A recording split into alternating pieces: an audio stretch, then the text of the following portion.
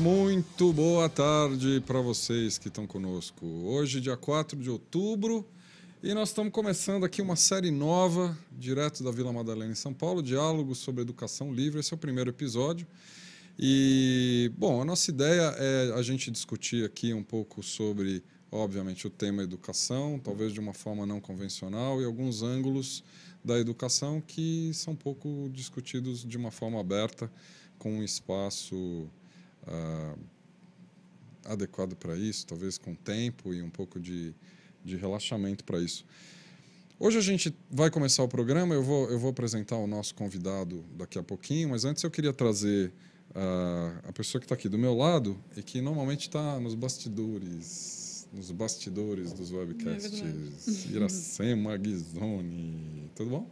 Tudo ótimo. Animadíssima aí com a estreia. Acho que é um um passo importante, uma contribuição importante que, a começar por mim, vou me beneficiar muito aí por trazer gente que está pensando a educação de uma forma diferente, fazendo educação, acho que refletindo sobre o que a gente está, que, que crianças a gente está formando, que jovens que a gente está trazendo ao mundo aí sob essa perspectiva educacional formal, né? É a, a Ira é nossa diretora de conteúdo aqui na Educatos, ela quem manda aqui em todos, aliás, as mulheres mandam em todos os lugares, mas aqui também, e ela, ela na verdade coordena todo, todos os conteúdos de todos os nossos webcasts e faz isso com uma maestria enorme. E a gente de, decidiu que esse programa nós vamos fazer juntos. É, eu vou ter que botar as caras aqui. É, que ela veio me, veio me pilotar aqui de perto. Mas acho que vale a gente, antes de entrar no tema, refletir e dizer para todo mundo e deixar registrado como isso começou. Né? Eu posso contar um pouco essa história e você, claro. você complementa. Né? Nós tivemos, em outras séries de webcast que a Educatos coordena, nós tivemos aqui recentemente a, a, a vinda do Edgar Gouveia Júnior, que é um, uma pessoa sensacional na série do, do Melhor do Mundo X, que a gente faz aqui, do TED. Com o André Gravatar. Com o André Gravatar, que é um jovem que inclusive estava nessa época em Londres, na se eu não me engano. É, em Londres. Na Suécia. Estava fora, estava na Europa, fazendo o que ele chama de um MBA por conta própria e visitando alguns polos de educação diferenciados. E eu contei uma história aqui sobre. eu tenho duas filhas, eu contei uma história sobre a Dani, minha filha mais velha, de que em uma determinada época eu recebi uma sugestão de uma professora particular dela, que eu espero que a gente traga ela aqui um dia, para tirar minha filha da escola e conduzir um, um processo de aprendizagem fora da escola, por N questões. E eu fiquei muito surpreso de receber esse convite, que, que tinha uma lógica toda especial, mas eu não tive coragem de fazer isso. Né? E quando eu comentei isso no programa, o, o Edgar, que estava aqui, daquele jeitão dele, ele virou e falou: Ah, Maurício, não fica com peso na consciência, você não precisa ficar, tá tudo bem, tá certo? Você só perdeu uma grande oportunidade, e a sua filha também, né? E esse negócio a gente levou na brincadeira, né? Mas no final do programa, na saída do programa, tinha acabado, acho, a transmissão, ele virou para mim e virou daquele jeito dele, né? Um cara de dois metros de altura. Ele virou e falou: Mas você tem outra filha, não tem? Mais jovem ainda? Né? Ainda tem, dá tempo, né? E esse negócio ficou martelando na minha cabeça. É, e eu compartilhei isso com você. E esse negócio ficou martelando na minha cabeça, martelando na minha cabeça. A gente teve outros incentivos depois, conhecendo outras pessoas que, que nos incentivaram a fazer isso. E nós decidimos, então, é, que a gente entraria num processo de reflexão pessoal sobre esse tema. A gente está muito preocupado com os nossos filhos, estamos vendo a educação do jeito que está. E numa dessas conversas, decidimos fazer essa, essa reflexão pessoal de forma aberta. Então, o que a gente está começando hoje aqui, ao vivo, com vocês que estão aí participando, na verdade não é nada mais, nada menos do que uma reflexão que deveria ser pessoal e privada, compartilhada com quem quiser entrar nessa reflexão. Então, Exatamente. Vamos, vamos, conversar com pessoas que estão tratando a educação de outra forma, como alternativas criativas e vamos dialogar com quem quiser dialogar sobre esse tema, é, com a nossa intimidade de pensamento sobre esse tema. De fato, eu estou preocupado, perdi várias noites de sono sobre isso, você também. Nossos filhos têm expressado o quanto a educação tem sido desestimulante para eles, para eles e para a torcida do Corinthians inteira, tá certo? Então, é, a gente resolveu trazer essa reflexão aberta. É isso? Exatamente. E o nosso webcast ele acontece então a partir de hoje. As todas as quintas, das 17 às 18 horas. É um espaço de uma hora, onde a gente sempre vai trazer um ou mais convidado para um diálogo como hoje a gente tem o prazer de ter aqui conosco uma pessoa muito especial e que a gente está muito contente de começar essa conversa com ele, que está fazendo um barulho danado É. com um título muito provocativo É de uma, um documentário que eu acho que traz uma reflexão importante, que é o a documentário Educação Proibida. Nós vamos falar aqui já já com o Herman, que está aqui, mas antes eu não posso perder a oportunidade de tocar é, o, é, o trailer do documentário, e que eu acho que fala por si só. Né? Vamos dar uma olhada?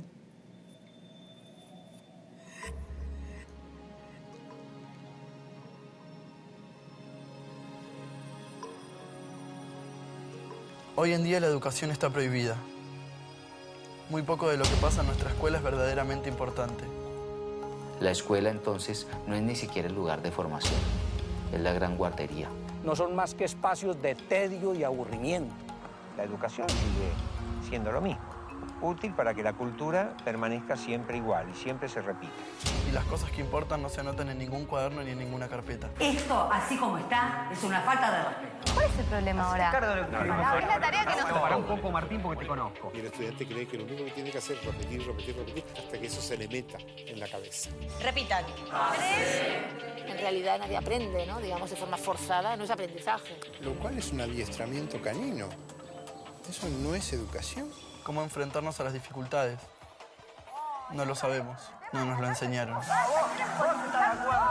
Córtenla. Corte. Mariela, basta. Escuchame una cosa. La escuela tiene que ser un banco de experimentación, una apertura de posibilidades totales. Nos enseñan a estar lejos unos de otros y a competir por cosas que no tienen valor. Todo el mundo habla de paz, pero nadie educa para la paz. La gente educa para la competencia y la competencia es el principio de cualquier guerra. Padres y maestros no nos escuchan. No nos preguntan nunca qué opinamos. ¿Cómo crees que vas a entrar a la facultad? ¿Quién te dijo a vos que yo quiero ir a la facultad? Hay madres y padres que ven al niño una hora al día. Todo aprobado, ¿verdad? Sí, mamá. ¿Cómo podemos esperar algo hermoso de ahí? No tienen idea de qué sentimos, qué pensamos o qué queremos hacer. Vas a tener que elegir una profesión. No puedes seguir jugando como un nene. Yo creo que los maestros actuales son hijos de un sistema. Si vos los dejás, vas a perder autoridad. No pueden hacer lo que quieren, ¿no? Igual me parece que tenemos que pensar si le estamos dando o no importancia a lo que dicen. Es profundo lo que están diciendo, no es cualquier cosa. Una escuela donde no había, el estudiante no tenía que rendir cuentas a nadie, donde cada quien podía ser sí mismo. No hay un camino único como, como que no hay un chico igual al otro. ¿El objetivo de la educación cuál es? ¿Aprender? ¿Aprender qué? ¿Conocimientos? ¿O ir desarrollando unas capacidades humanas?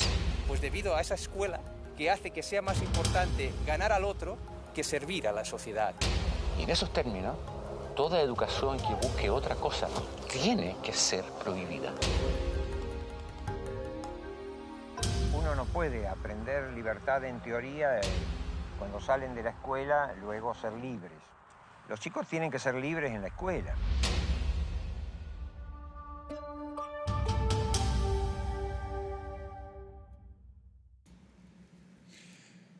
Uau, uau, uau, uau, uau. Bom, esse é o trailer do filme e, e aqui do meu lado tá o autor, diretor, produtor do filme. Germán ¿cómo estás? Hola, buenas tardes. Eh, bien, ¿cómo están ustedes? Gracias por invitarme. É, é um prazer ter você aqui. É um, é um prazer ter, ter, ter você aqui. Nós, vamos- nós vamos falar portunhol aqui hoje. Sim. Pero que la, la educação canina, Germán, que é isso? Comparar a educação. Não, adestramento canino. Sim. Nesse, comparar educação e adestramento canino. Germán, uh, díganos, fale, fale, un poco, hable un poco sobre, tu, sobre usted. No, no sabemos que tú eres un padre, un nuevo de una hija. Eh, queremos saber sobre, sobre tu vida. Hable un poquito sobre eso para, para nosotros. Bien, yo tengo 24 años. Eh, cuando tenía 21 años comencé este proyecto, eh, impulsado por eh, mi historia. Yo desde, desde joven, desde la escuela primaria y secundaria, ya eh, tenía una mirada crítica sobre la escuela, sobre lo que sucedía en la escuela. Y, y, bueno, luego lo que hice fue reunir, mi, por un lado, mi interés por, el, por este tema y por otro lado, la herramienta que a mí me interesaba, que era el cine, eh, eh, en este proyecto que es la educación prohibida, ¿no? Eh, que para mí es un proyecto que comunica ideas que están en la educación o en el mundo de la educación hace mucho tiempo y que necesitaban democratizarse, ¿no? Llegar a la gente y, y aquellos que no, que no necesariamente conocen qué se está discutiendo o qué se ha discutido en, en la educación. Eh, quiero, quiero comenzar con, con una, una, pregunta que creo que será común a todas las personas que, que están, a, los entrevistados que están acá eh, hoy y en el futuro. Sí. Hay una pregunta común que te, te peço para mencionar tre, tres tres uh, aspectos, tres puntos positivos y tres puntos negativos de la educación formal. ¿Qué piensas sobre Bien. eso?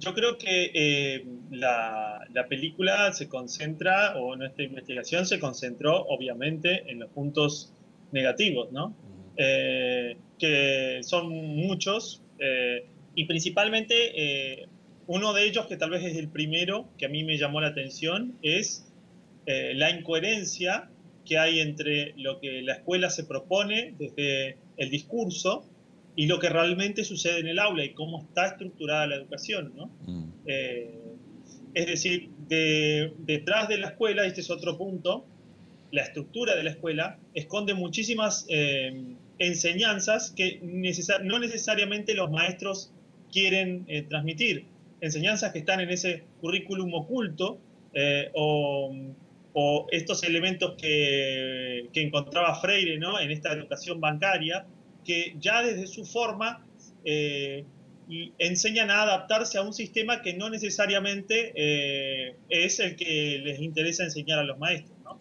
A un sistema que promueve la competencia, que promueve la separación de clases, que promueve eh, el individualismo. Y esos son elementos muy fuertes en la escuela. Y, y, tal vez un tercer elemento que tiene que ver con esto, que está todo relacionado, es eh, que la escuela está centrada, o que la escuela convencional está centrada en los objetivos, en los resultados y en lo que queremos que el niño sea, lo que queremos que él se convierta. ¿no? Y rara vez eh, se centra en lo que el niño ya es hoy y lo que tiene para ofrecer y en profundizar en eso. ¿no? Eh, entonces esos son un poco los elementos que critica la, la película. Y elementos positivos, básicamente yo lo, lo, que puedo encontrar es, creo, el elemento positivo que encuentra cualquier persona cuando piensa en su educación, y es eh, haber pasado un muy buen momento, haber encontrado un espacio para encontrarse eh, con otros, para relacionarse, para intercambiar, eh, para generar vínculos, ¿no? Uh -huh que es lo que creo que yo en su mayoría la gente eh, recuerda bien de su, de su educación. Eh, y creo que es eso, eso sí lo que tenemos que mantener, ¿no? La escuela como un centro para conocerse, para encontrarse y para eh, intercambiar. Germán, te, tenemos acá en, en, el chat Mariana con una pregunta para usted. ¿Dónde estudió?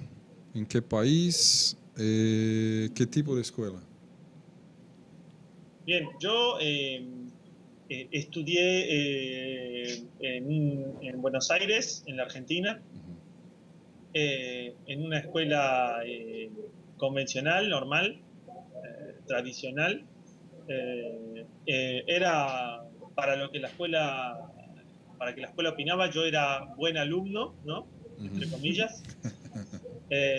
y y, luego de eso, pero siempre un alumno que, de, todo trataba de, ser bastante crítico con lo que sucedía ¿no? en la escuela.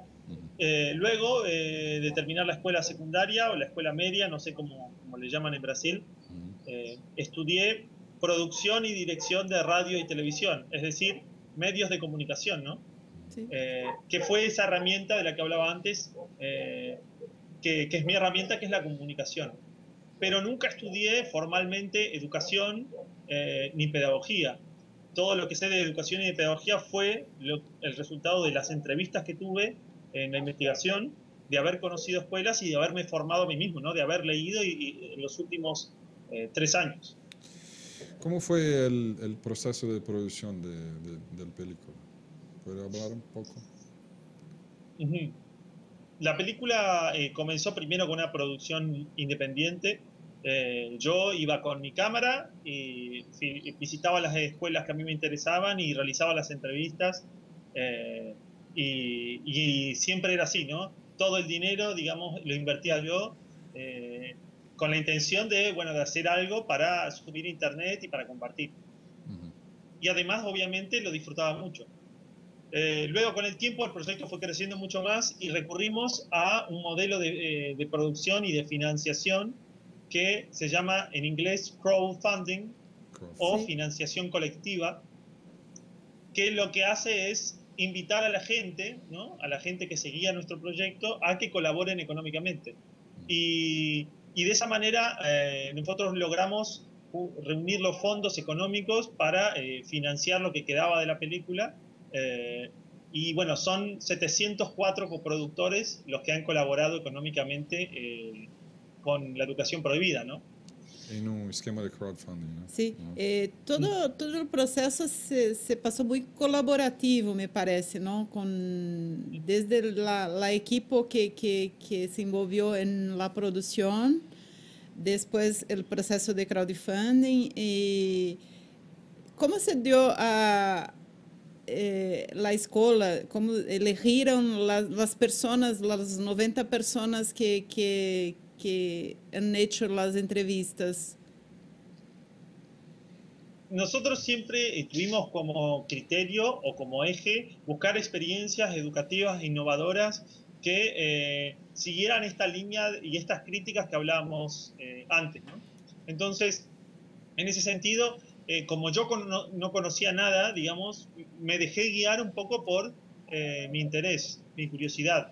Entonces, visitaba alguna escuela y en esa escuela me decían, eh, me contaban la experiencia y luego me decían, no, tienes que conocer tal otra escuela que está en, tal país o en tal ciudad. Eh, y, yo lo que hacía era tratar de ponerme en contacto y seguir buscando, ¿no? A través de Internet, a través de las experiencias educativas eh, conocidas, digamos, como no convencionales en la historia, como los trabajos de María Montessori, ¿no? de Rudolf Steiner, eh, de Paulo Freire, eh, los aportes de, otros educadores o, justamente personas que trabajaban por fuera o que proponían experiencias por fuera de la educación formal, eh, como Iván Illich, como los movimientos de homeschooling y unschooling, que es educación en casa y educación sin escuela, por ejemplo.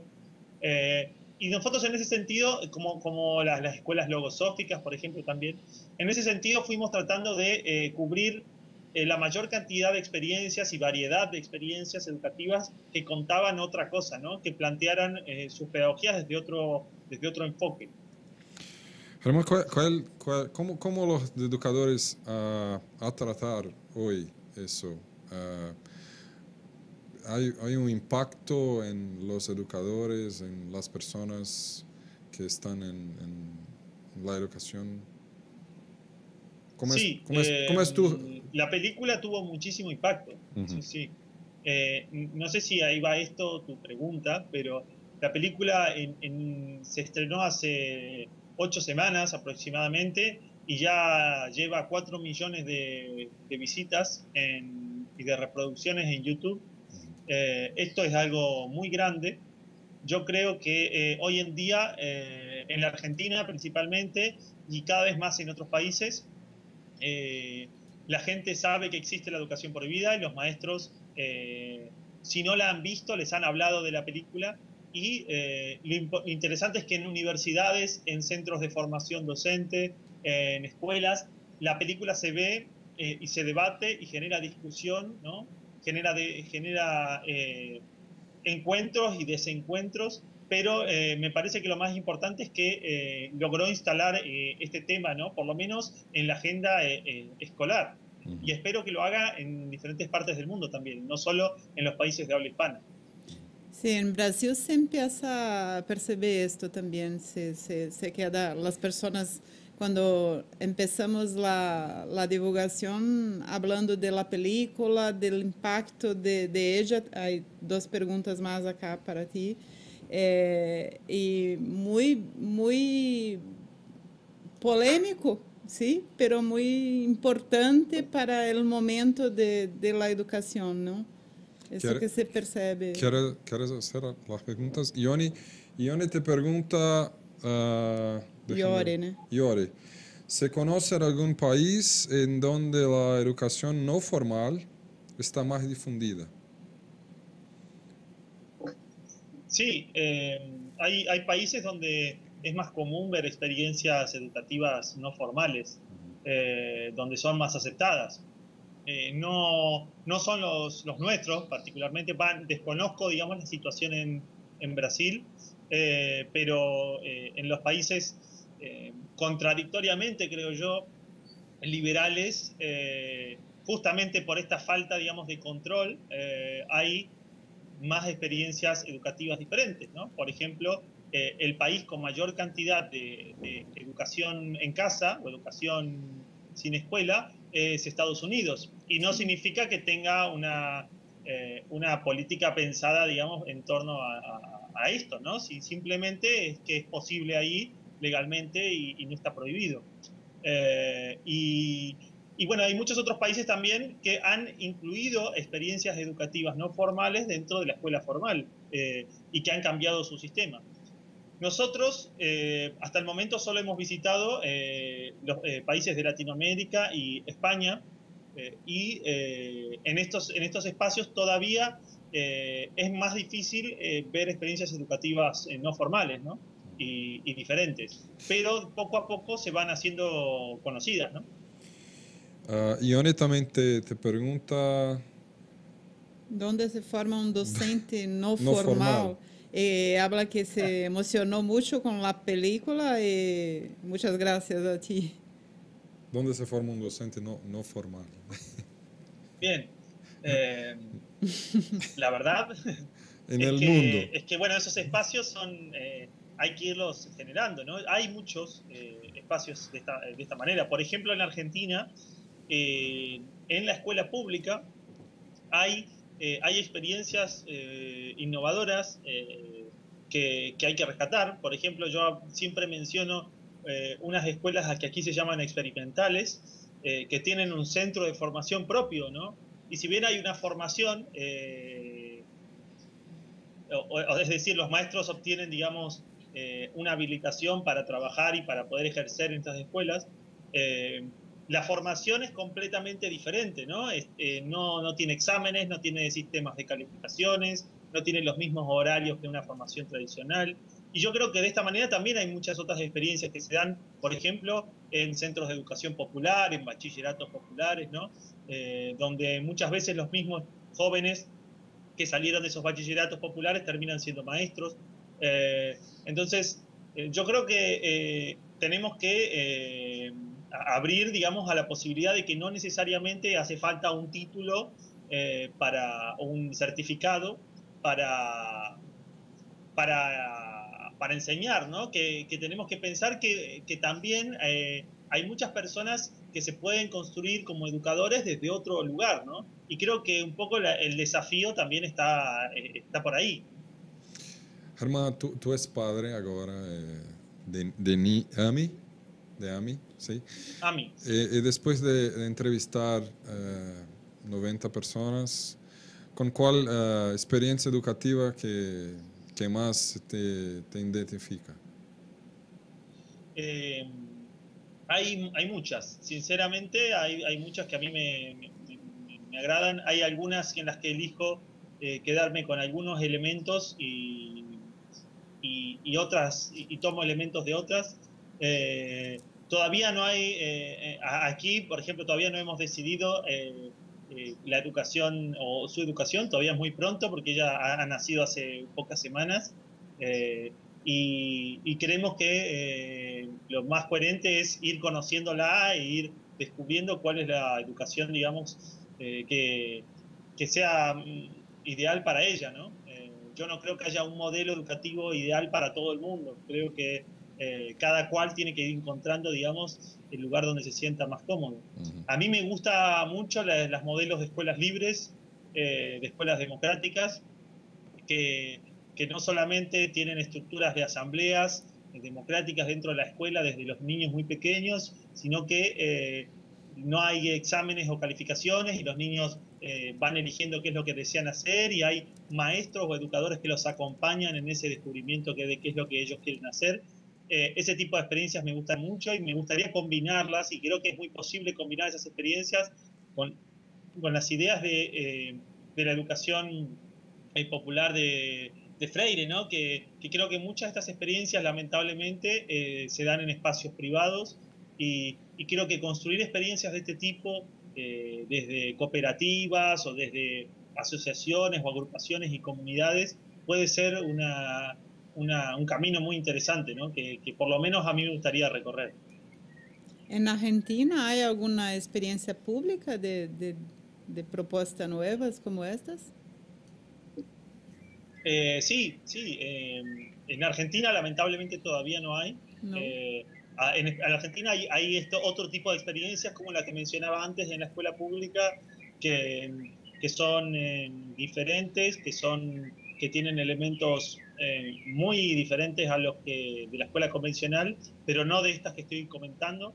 Hay otros países en los que sí ya se pueden empezar a encontrar experiencias públicas, pero creo que eh, un poco el trabajo nuestro tiene que ser empezar a, construir o intentar hacer más de estas experiencias, ¿no? Porque eh, hay espacio dentro de la escuela pública para hacerlo, eh, y, más cuando hay una comunidad detrás de la escuela que apoya la experiencia, ¿no? Entonces, yo creo que vale la pena intentarlo y tratar de, llevarlo adelante.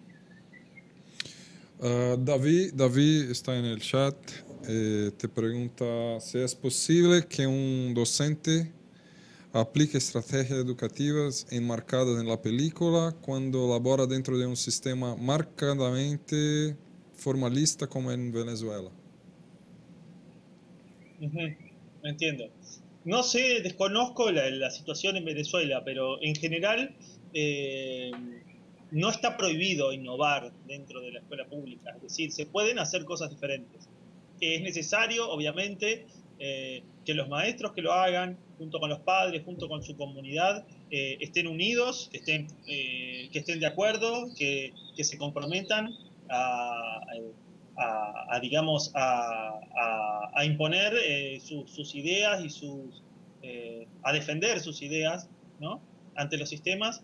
y yo creo que, que en ese sentido no podemos esperar, como ya sea educadores o maestros o, eh, padres o alumnos, no podemos esperar que el Estado o los gobiernos tomen la decisión sobre cambiar la, educación. ¿no? Yo creo que hay que empezar a hacerlo desde las aulas, desde los espacios donde, donde podemos hacerlo. Y, que con el paso del tiempo se va tal vez a ir flexibilizando más y a ir democratizando más el sistema, pero por, por ahora eh, la invitación es, a que realmente lo hagan desde, desde donde pueden, ¿no? Que es, eh, eh, en el caso de la escuela pública, la escuela pública, y en caso otro tipo de experiencias también. y que traten de hacer lo que pueden, lo que les permiten, y, llevarlo a la instancia más lejana posible, ¿no? Pero siempre que nunca bajen, que nunca bajen los brazos. estaba mirando en, en el sitio, tengo algunos números aquí, que eu posso divulgar. Quase Sim. meio milhão de descargas, de downloads, 4 Sim. milhões de reprodução na web, 1 milhão de reproduções dos, do trailer do filme, 62 mil fãs no Facebook, 6 mil seguidores no Twitter, 704 co coprodutores em crowdsourcing, 712 projeções no mundo todo. Esperava que os resultados até o momento como como tu vês os resultados uh, desse desse de la película até acá? Eh, yo los todos muy positivos. Eh, creo que, que, hasta el momento eh, la película está generando muy buenas repercusiones. Creo que todavía queda mucho por, por delante. Eh, recién hablábamos antes de que comience la entrevista que, es, que, es, muy interesante para nosotros que la película pueda ser eh, traducida en otros idiomas. Actualmente tiene subtítulos o leyendas en portugués, en inglés, en italiano, en francés, en alemán, eh, en catalán, pero nos gustaría que eh, esté doblada la película. No sé cómo, cómo se dice. Mm, Dublar. Hablada o do dublar. dublar. Bien, eh, no solo en inglés, sino también en portugués, ¿no? Entonces uh -huh. también estamos invitando a la gente a que colabore desde ese lugar, a que se acerque con la intención de, de, de bueno, de, de, que la película se pueda ver en otros países y también que eh, se comiencen a realizar más versiones de la película, ¿no? Eh, tal vez eh, volver a, a, grabar entrevistas en Brasil y en otros, en, en, los países que nos quedan. Nosotros seguiremos difundiendo el proyecto y seguiremos reuniendo material. Justamente ahora estamos compartiendo las entrevistas completas de la película eh, para que la gente pueda profundizar. Hasta el momento solo hemos compartido tres entrevistas, pero, eh, pero falta muchísimo más trabajo por compartir y bueno, un poco la idea es continuar eh, discutiendo sobre esto y generando y alimentando ese debate, ¿no? que hasta ahora ha ido muy bien. Jerónimo en, en el chat uh, lo, lo, pregunto cómo re reemplazo la, la educación que tenemos, que es pública y gratuita. Eu não creio que. Eu não sei se eu entendi a pergunta, pero. Eh, yo creo que no es la idea reemplazar la educación pública y gratuita. Sí. Eh, yo estoy a favor de, la de, que la educación sea pública y gratuita. Uh -huh. eh, pero creo que muchas veces cuando defendemos la educación pública estamos defendiendo muchas otras características de la educación que no necesariamente queremos defender. Entonces, yo defiendo que la educación sea pública y gratuita, pero no defiendo que la educación eh, siga un, eh, un currículum nacional que tiene que ser eh, completamente estricto y rígido. No defiendo que la educación necesariamente sea obligatoria. Eh, no defiendo, por ejemplo, que, que, los niños tengan que pasar por exámenes o calificaciones obligatoriamente. Yo creo que sí la educación tiene que ser pública y gratuita, pero dentro de esas variables se pueden hacer otras cosas que no necesariamente son la escuela que tenemos hoy. ¿no?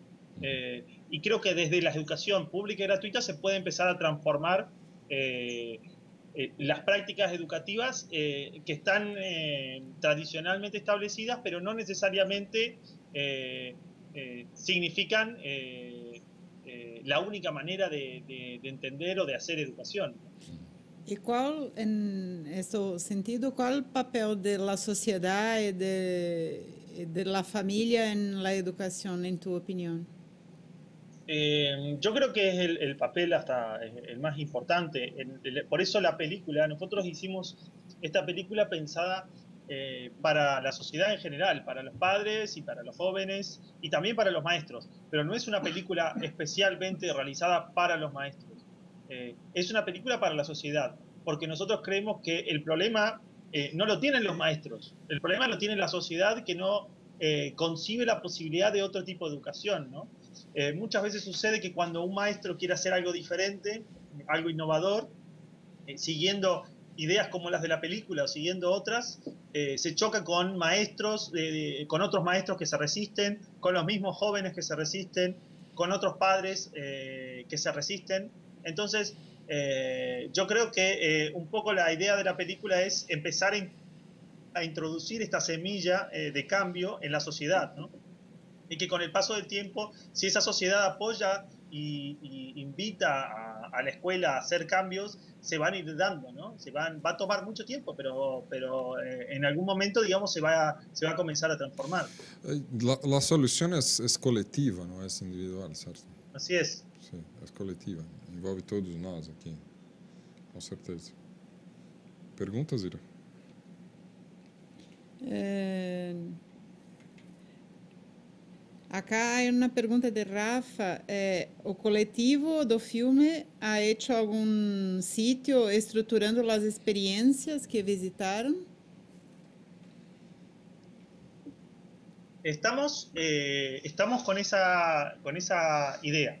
Eh, yo los quiero invitar a, a conocer eh, eh, el proyecto que siga la educación prohibida, que es eh, la construcción de una red social de educación, eh, una red social eh, que, no neces que, que está pensada justamente para encontrar estas experiencias educativas diferentes, para encontrar a los interesados, a padres, a docentes, a alumnos que quieren pensar en otro tipo de educación. ¿Qué, qué es, es, Eh, es Revo, llama?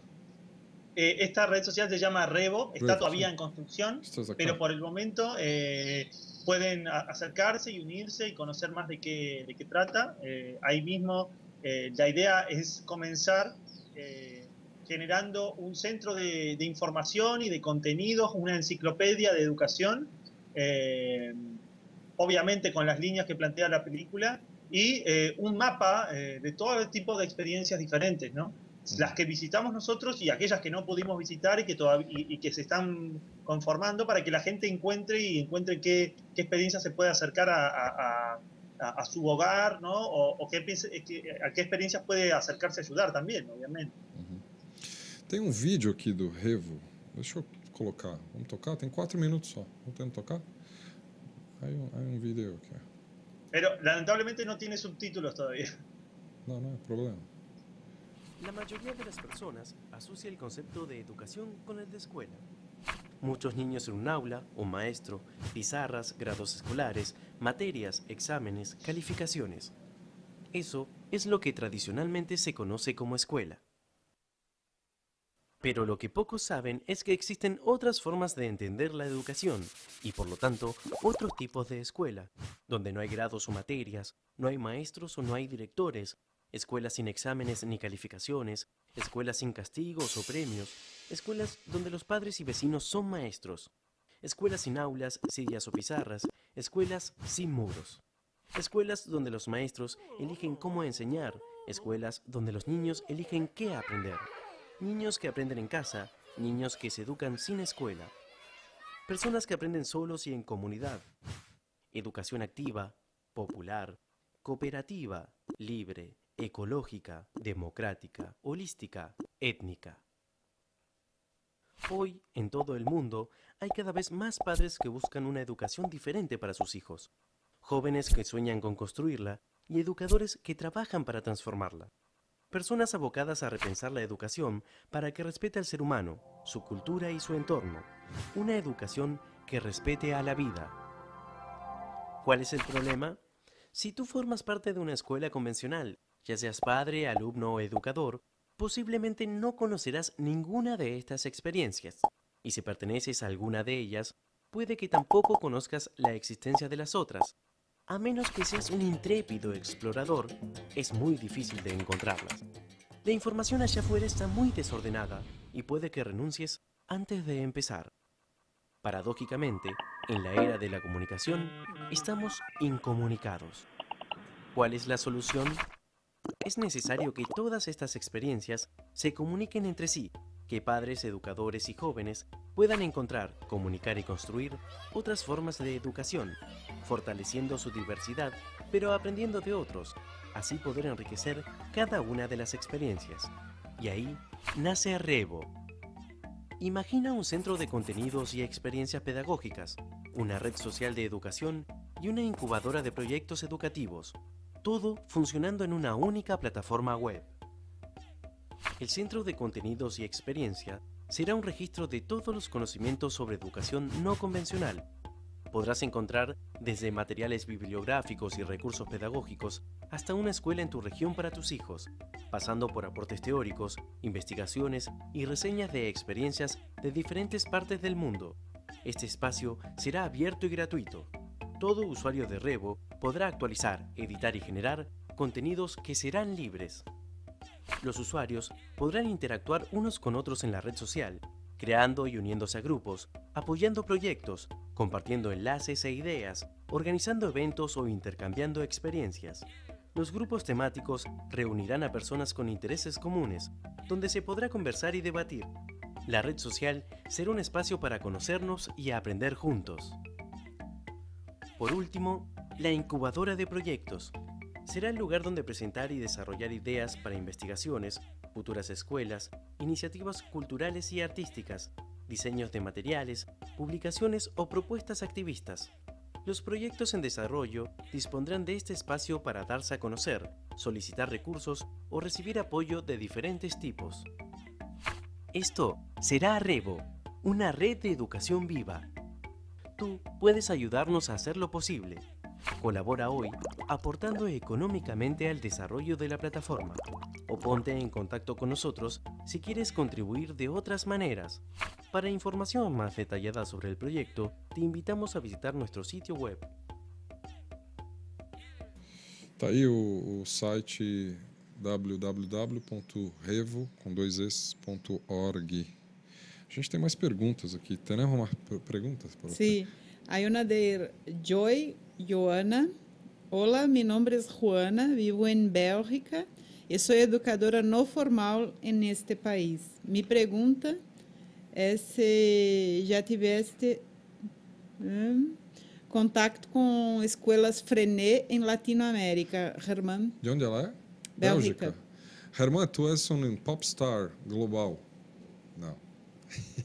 Eh, yo, le, por el momento, eh, nosotros estamos construyendo Revo eh, para, eh, para que eso sea posible. Todavía, eh, hasta, hasta ahora es más difícil para nosotros eh, es muy difícil para nosotros, digamos, responder a todas las personas que quieren buscar escuelas, ¿no?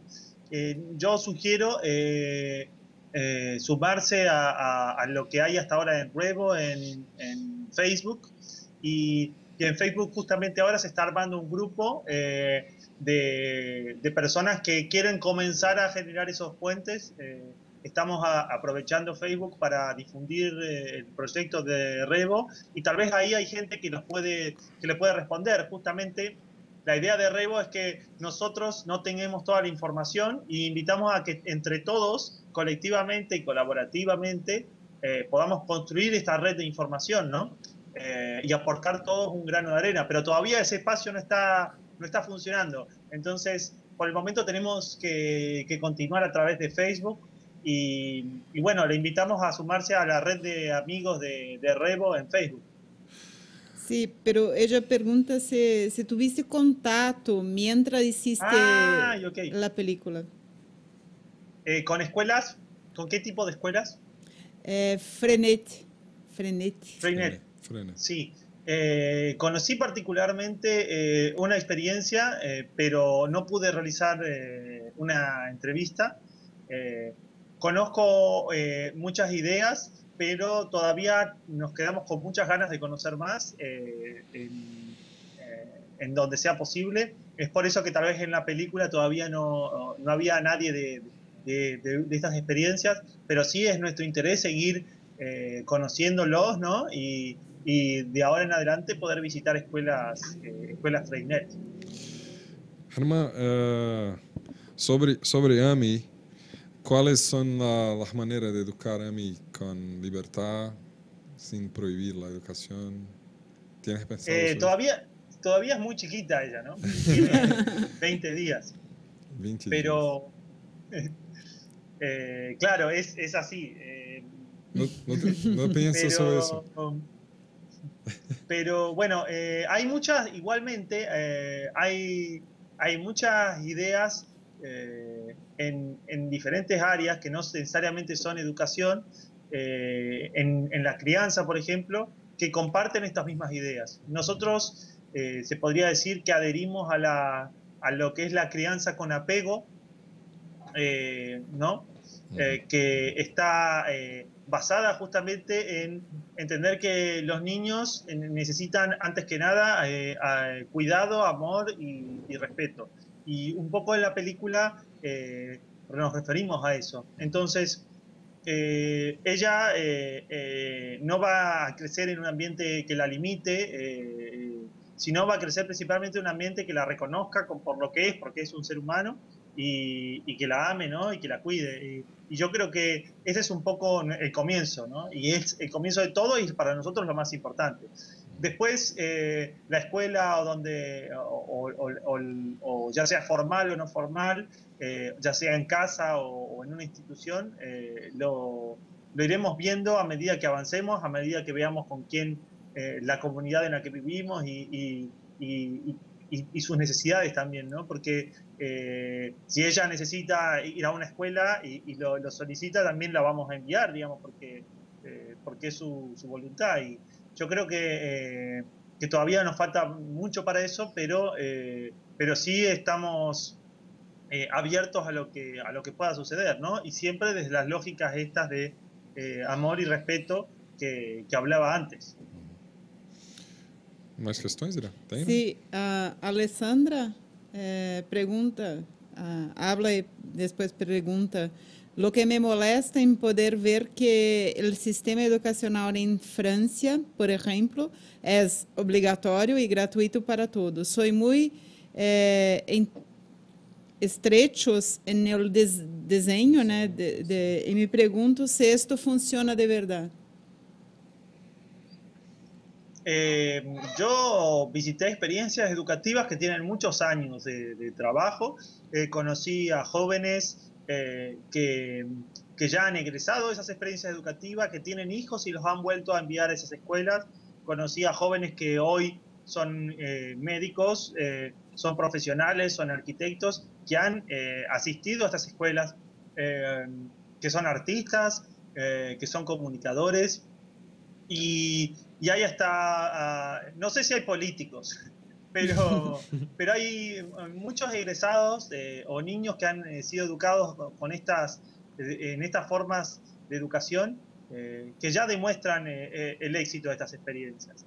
Claramente, un, creo que uno de los mejores indicadores es que en general estos chicos están agradecidos por, el, por, por, lo que vivieron en sus escuelas, las recuerdan con mucho cariño, con mucho afecto, y me parece que eso ya es un resultado más que, eh, más que valioso, ¿no? Porque si eh, pueden eh, estudiar y pueden insertarse en la sociedad y transformar la sociedad también desde adentro, como cualquier otro, otra persona, y además han disfrutado de su educación, eh, me parece que ya, eh, ya hemos superado cualquier tipo de, de, objetivo, ¿no? Eh, y, creo que eso es lo que hay que reconocer de estas experiencias.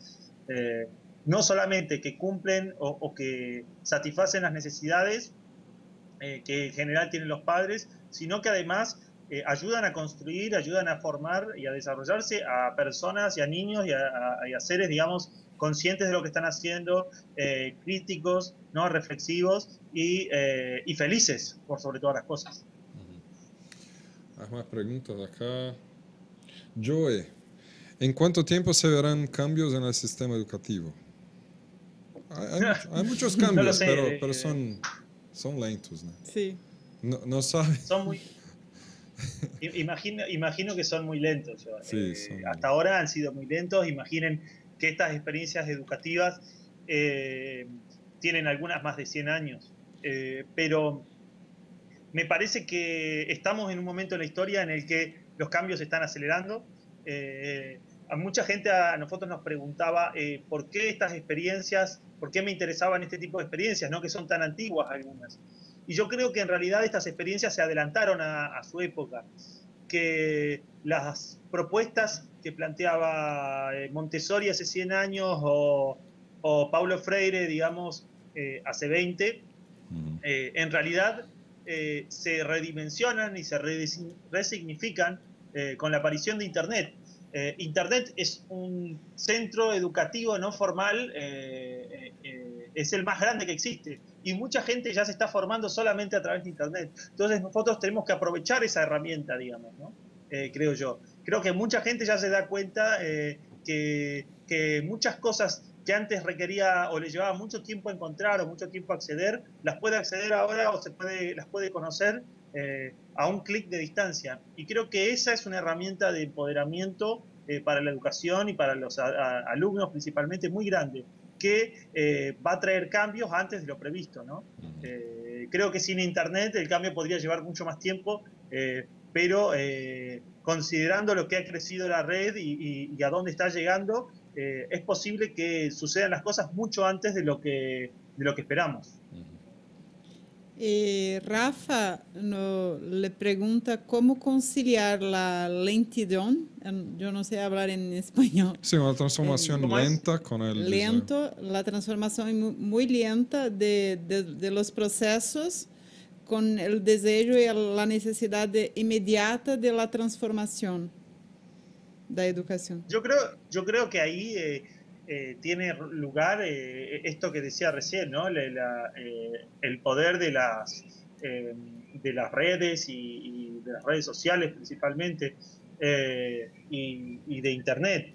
creo que estos cambios hay que respetar los tiempos de esos cambios, ¿no? Y a veces, si tiene que ser lento, tendrá, tendrá que, que ser, bueno, tendrá que ser lento, pero que sea que sea lento para una escuela eh, no significa que eh, no esté siendo rápido, digamos, para, para la humanidad. Si, si la educación se transforma eh, en una sola o en dos generaciones, ya es rapidísimo, ya es un, es un tipo de cambio que, que sin precedentes, ¿no? Y yo creo que es posible, ya desde el punto de vista de que todos los maestros que van a estar al frente de las escuelas el día de mañana, el día de dentro de 10 años, por ejemplo, eh, nacieron en una, en una sociedad informatizada. Eh, todos esos maestros, imagino yo y espero, habrán visto La Educación Prohibida eh, y, muchas otras películas, y creo que eso ya va a marcar una diferencia, ¿no? Entonces, tal vez lo que ahora parece lento en, en, cada escuela o en cada espacio donde, donde trabaja cada maestro, a gran escala yo creo que en realidad es demasiado rápido, porque eh, porque se va a empezar a multiplicar con el paso del tiempo. Eh, Joy Joana eh, le pregunta si el discurso de la película se, se, acerca mucho al discurso de Ken Robinson, que habla de la revolución educativa que ya está se generando. ¿Es algo buscado o fue espontáneo? Eh, no, eh, en realidad, eh, a medida que cuando yo comencé la investigación no había visto los videos de Ken Robinson, luego los pude ver eh, hace ya, ya, hace ya dos, dos años y, claramente estamos en el mismo camino, ¿no? Yo lo que creo es que, que, no hay coincidencia, obviamente. Es más, hay elementos que nosotros tomamos de, de algunos de sus libros en, en, la película. Y, creo que lo que nosotros tratamos de sumarle al discurso de, Ken Robinson es que eh, la educación no tiene que cambiar porque el mercado o la economía lo necesite, eh, sino que tiene que cambiar porque el ser humano lo necesita. Eh, y, yo creo que a veces es, hay que tratar, o, tratamos nosotros cuando nos separamos un poco de, esa visión, tratamos de no caer en, esta idea, ¿no? De que, de que a veces se cree, digamos, que, bueno, que la educación, no se cree, digamos, eh, la educación fue, fue construida o el sistema educativo fue construido para formar trabajadores en la época industrial. Eh, que hoy ya no se necesiten trabajadores en la época industrial y cambiemos la educación, es seguir, en, el, eh, es seguir igualmente equivocados, ¿no? Yo no, queremos construir hoy trabajadores o que la educación esté preparada para construir o para generar trabajadores para una época informática. sería el mismo error, sería reincidir en el mismo, el mismo modelo que no está centrado en las personas ni en su aprendizaje, sino en lo que necesita la economía. Eh, entonces, yo creo que ahí un poco tratamos de separarnos y, creo que, eh, que, tal vez él, también se separaría, digamos, porque a veces el, discurso se, confunde un poco, ¿no? Pero, pero claramente sí hay una similitud muy grande y claramente sí apoyamos, digamos, eh, las expresiones que han surgido de, su trabajo y los videos que circulan por internet son fantásticos, digamos, para, para aclarar muchas de estas ideas. Y, bueno, todavía no lo conocemos personalmente, pero espero poder conocerlo también en el futuro. Germán, tú eres eh, muy joven, eh, queremos conocer tus planes para el futuro. Bien, em, bueno, ahora el primer plan es, eh, construir esta red de educación viva, eh, REVO, es apoyar ello. Ello va a llevar tiempo, si bien la red puede estar pronto, digamos, funcionando, hacerla crecer y darle cuerpo y forma, digamos, y, integridad puede llevar un tiempo importante, ¿no? yo estoy buscando la manera de poder, poder dedicarlo, dedicarle nuestro tiempo a eso. y y mientras tanto seguiremos eh, compartiendo las entrevistas de la película y yo creo seguiremos siempre vinculados a, este tipo de temáticas, tal vez vinculadas a la educación, a los nuevos paradigmas, a las nuevas formas de organización y, siempre temáticas sociales, ¿no? Eh, entonces, yo creo que eh, en el próximo, el futuro próximo, en los próximos años, siempre va a ser vinculadas a la educación, pero, pero digamos, nuestros planes es mantenernos contribuyendo a a, un, cambio de, social ¿no? en el mundo, no solamente eh, en este tema, sino en muchos otros, y de la mano de, las ideas que se plantean en la película. ¿no? ¿Y cómo, cómo las, personas, la gente puede apoyar la, la construcción que... Bien, eh, la película la pueden apoyar eh, difundiéndola y demás. Aquellos que tengan interés en colaborar de otras maneras, me refiero a aquellos que tengan interés de colaborar con su trabajo, pueden escribirnos. Eh, en Revo estamos eh, generando un listado de gente que quiera colaborar con su trabajo. Eh, en, el sitio web de Revo pueden escribirnos. Y aquellos que tal vez no, no se les ocurre otra forma que económicamente lo pueden hacer también a, través de, a través de nuestro sitio. los invitamos a, a hacerlo porque nuestro interés es que tanto la educación prohibida como Revo sean eh, experiencias construidas y financiadas por la misma gente, por la misma eh, demanda real que tiene la gente. Eh, y, bueno, esperamos que pueda, que pueda ser así, ¿no? Así que los invitamos a ingresar en, tanto en la página de la educación prohibida como en la página de Revo. Que bárbaro. E as pessoas que se dispuserem, eu acho que a traduzir eh, e dublar o filme é um convite que o assim Germano fez Sim. no início, que pudemos ter esse privilégio de ter o documentário todo em português. É muito bem-vinda essa contribuição. Sim, sim. Seria seria seria uma contribuição muito grande porque há uma grande comunidade em Brasil que creo que le va a encantar la película. Ya eh, mucha gente eh, de Brasil nos escribe y está esta limitación de, de que, del, del idioma. Eh, recién hablábamos que, bueno, en Brasil, eh, según las estadísticas de YouTube, solamente la han visto 60.000 personas eh, a la película, porque tiene subtítulos en portugués, pero ya es mucho y, ya estamos contentos. Pero si estuviese con, hablada en, portugués sería muchísimo más. Y, bueno, invitamos a, a, los que estén interesados en formar un grupo para hacer la traducción. La película está lista y preparada para traducir eh, todos los idiomas, no solamente el, las voces, sino también los textos que, que aparecen y, y, sería fantástico hacerlo. ¿no? Y nos gustaría mucho poder invitar a algunas de las personas que, que ustedes eh, entrevistaron en la película. la película. Entonces sí. vamos a seguir ahí con los contactos para tra traer también la, las, las personas.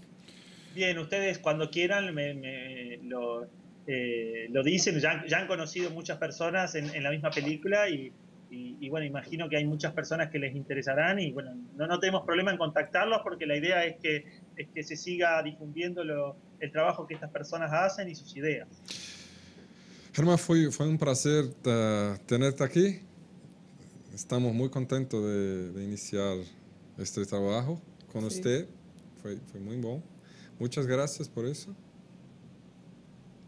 Bueno, gracias a ustedes por, por el espacio y, y, por habernos eh, dedicado eh, tanto tiempo en, la, en el primer programa. Eh, y bueno, felicitaciones por, por, lo que están haciendo, que me parece que es muy, muy útil y muy, y muy interesante ¿no? para la gente. Muchas gracias, hermano. Muito bacana ter podido começar essa série de reflexão assim, né? Quem não viu o filme ainda, veja. Uh, tem um site do filme que está aqui, é laeducacionprohibida.com. Laeducacion, não, educa, educacionprohibida.com e tudo espanhol, educacionproibida.com. Também da, da Revo, revo.org e, é lógico, se você for ao YouTube e colocar Educação Proibida, você vai encontrar todos esses filmes aí. Eu recomendo, é contundente, quem não assistiu ainda. E é um estímulo não só a ver o filme, mas a fazer o download e a projeções. Né? Eles têm estimulado muito, né? Como você falou, tem mais de 500 mil pessoas, cerca de 500 mil pessoas que já baixaram o filme e estão criando rodas de conversa. Aqui eu estava vendo no chat, o Rafa falou que, que já participou de uma roda de conversa em Brasília e algumas pessoas têm relatado que o filme tem sido projetado e essa é a ideia mesmo. Eu acho que a partir daí, se a gente conseguir ter alguém que possa traduzi-lo para o português, vai dar mais força ainda para essa mobilização. Acho bem, bem importante. Olha, e para vocês que tiveram conosco nesse primeiro episódio, desafiador, né? um jovem, um jovem de 24 anos, né? você falou que é um desses para você também, né? É. Sensacional o espírito de análise crítica, um trabalho maravilhoso. Semana que vem? Semana que vem a gente segue com nossas conversas semanais e dessa vez para falar sobre um tema que chamado de desescolarização, com uma pessoa muito especial que é a Ana Tomás. Ana Tomás é mãe de três filhos, mora em São Paulo, está muito ligada à educação e os filhos são desescolarizados. E o que ela fala é de como tirar a escola de, de, de, não tirar o filho da escola, mas tirar a gente. Escola de dentro a, a de escola de dentro da gente, exato. Bom, como a gente disse, a ideia dos diálogos é exatamente debater essas alternativas e a gente poder proporcionar uma reflexão profunda e tentar dormir de noite um pouco. E para quem tiver sugestões de, de nomes, de projetos que acha interessante a gente poder compartilhar, é um espaço também que eu gostaria de pedir que todos contribuam. Pode mandar um e-mail para diálogos@educartes.com e que a gente vai ter um grande prazer de poder dialogar com vocês e trazer experiências das mais diversas para, assim como hoje, instigar essa reflexão. Foi um prazer ter você em frente das câmeras hoje. Muito ela, obrigada. Ela, ela fica nervosa quando ela para frente das câmeras. Dizendo que ela é jornalista, mas eu... Não é meu forte. Foi bem pacas. Obrigado, viu? Obrigada a você. Compartilhar com você ao vivo e a cores aqui, não nos bastidores dessa vez. E vocês estiveram com a gente, galera, muito obrigado mesmo. A gente espera vocês semana que vem. E até lá, né? Até mais.